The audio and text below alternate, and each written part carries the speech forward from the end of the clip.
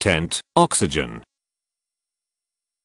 Tent, oxygen, a tent-like device used to deliver high levels of oxygen to a patient in a bed. The tent typically covers the whole bed of an infant and the head and upper body of an older child or adult. The oxygen is pumped in from a tank. Oxygen is a colorless, odorless, and tasteless gas that makes up about 20% of the air we breathe, and at least half the weight of the entire solid crust of the earth, and which combines with most of the other element to form oxides. Oxygen is essential to human, animal and plant life. The chemical symbol for the element oxygen is O as a medicinal gas. Oxygen contains not less than 99.0% by volume of O2. Oxygen was discovered in 1774 by the British scientist Joseph Priestley, but he did not name it oxygen. He called it dephlogisticated air.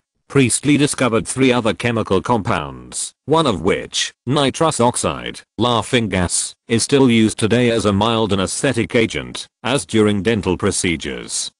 The word oxygen came from the French oxygene. It was so named by the French scientist Antoine Lavoisier, 1743-94, who thought it was a necessary ingredient in all acids. This is not so. Hydrochloric acid, HCl, for example, contains no oxygen.